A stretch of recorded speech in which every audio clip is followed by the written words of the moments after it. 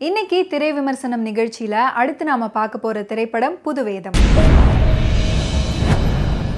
Vittal movie சார்பா ராசா Vikram produce பண்ணியிருக்கிற இந்த படத்தில் விக்னேஷ் இமான் அண்ணாச்சி சஞ்சனா பவித்ரா சிசர் மனோகர் யோகலக்ஷ்மி டாக்டர் ஜெயச்சந்திரன் சோழவர்மன் ரமேஷ் புகழ் ஆனந்த் கண்ணன் ஆனந்தம் ரவி இவங்கெல்லாம் இந்த படத்தில் நடிச்சிருக்காங்க. ரஃபி தேவேந்திரன் மியூசிக் பண்ணியிருக்கிற இந்த படத்துக்கு கிருஷ்ணன் வரதராஜன் சினிமாட்டோகிராஃபி பண்ணியிருக்காரு.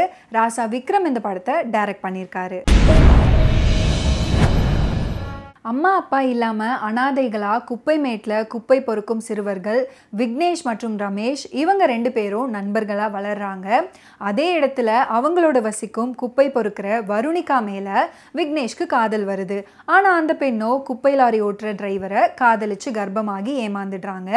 இந்த நிலையில் ரமேஷோட அம்மா யார் அப்படின்றது தெரிய வர அவர் தன் அம்மாவோட ஊருக்கு கிளம்புறாரு.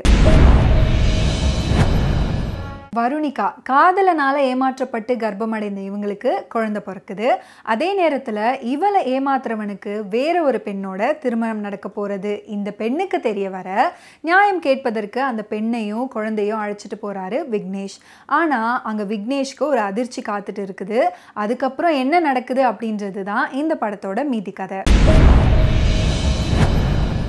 சமுதாயத்தால் மற்றும் குடும்பத்தால் வஞ்சிக்கப்பட்டவர்களும் வாழ்ந்து தான் ஆகணும். அப்படி வாழும்போது அவங்களோட வாழ்க்கை எப்படி இருக்கும் அப்படின்றத தன்னால் முடிஞ்ச அளவுக்கு ரசிக்கிற மாதிரி திரைக்கதை அமைச்சு படத்தை கொடுத்துருக்காரு.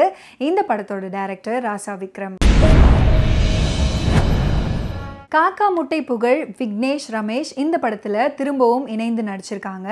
வருணிகா இவங்க குப்பை மேடில் வளர்கிற ஒரு சிறுமி எப்படி இருப்பாங்களோ அதை அப்படியே அவங்களோட உருவத்திலும் நடிப்பிலும் பிரதிபலிச்சிருக்காங்க. இமான் அண்ணாச்சி முதல் பாதியில் குப்பை மேடான கதை களத்தில் நடிச்சிருந்தாலும் ரெண்டாவது பாதியில் இளம் குமரிகளோடு நடிச்சிருக்காரு. மற்றும் படத்தில் நடிச்சிருக்கிற எல்லாரும் அவங்களோட கேரக்டரை உள்வாங்கி நடிச்சிருக்காங்க. எடிட்டர் நவீன் குமார் உட்பட தொழில்நுட்ப கலைஞர்களோட பணி படத்தின் நிறைவு.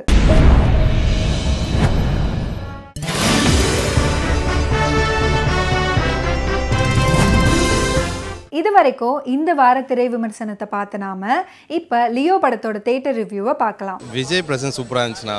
நல்லா டிஃப்ரெண்ட்டாக காமிச்சிருந்தாங்க. என்ன ஃபர்ஸ்ட் ஹாஃப்லாம் கொஞ்சம் ஸ்லோவாக போச்சு. செகண்ட் ஹாஃப் வந்து சூப்பராக இருந்துச்சு. ரொம்ப நல்லா இருந்தது. ஆக்ஷன் சீக்வன்ஸ் எல்லாமே நல்லா இருந்தது. பட் ஃபர்ஸ்ட் ஹாஃப் ரொம்ப நல்லா இருந்தது. செகண்ட் ஹாஃப் அது மீட் பண்ணல எக்ஸ்பெக்டேஷன்ஸ் கொஞ்சம் கம்மியாக இருந்தது. ஹிஸ்ட்ரி ஆஃப் வயலன்ஸ் படத்தை வந்து பார்க்கல. ஏன் பார்க்கலன்னா நான் இது ஃப்ரெஷ்ஷாக பார்க்குறேனே தளபதியோட இதாகவே பார்க்குறேனே எதுக்கு அந்தலாம் போய் பார்த்துட்டு? அதே மாதிரி லோகேஷன் சொல்ல போகணும்னு பார்த்தீங்கன்னா அதுக்கு ஈக்குவலாக எடுத்துருக்காரு. மீண்டும் அடுத்த வாரம் திரை விமர்சனம் நிகழ்ச்சியில் சந்திப்போம். அதுவரை நன்றி வணக்கம்.